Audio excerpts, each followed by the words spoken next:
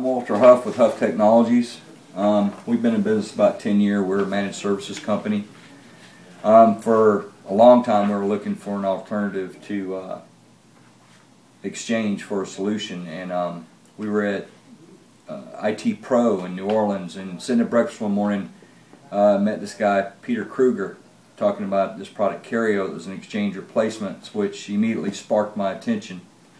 And I'm talking about it and getting more information on it and talking to him through the course, and then immediately after we got back, we were a reseller and made our first sale into a little 15 user environment that had outgrown exchange. They had 80 gigs of mail. We brought it in, basically threw it into the worst known environment you could imagine putting a new piece of software in. And with the support that we got from Kerio, uh, to this day is running flawlessly without any kind of errors. Um,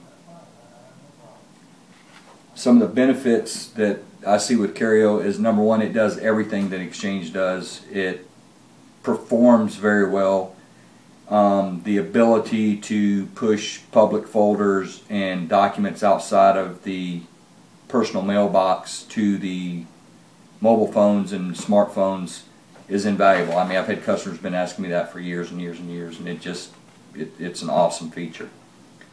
Um, as far as the resources of Kerio, I've got uh, I showed Michael here the customer that we put it into has got right at 600 gigs of mail, believe it or not. And Kerio is sitting there running idle in peak production at about 52 megs of RAM. So I mean the resources on it's unbelievable. It's low usage, doesn't take a lot of a lot of resources to run Kerio, and it performs very well.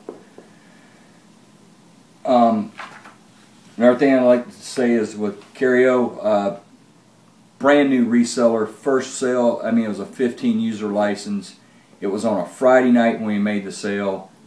Um, and the support I got from the sales team and the technical side of the team was invaluable to me.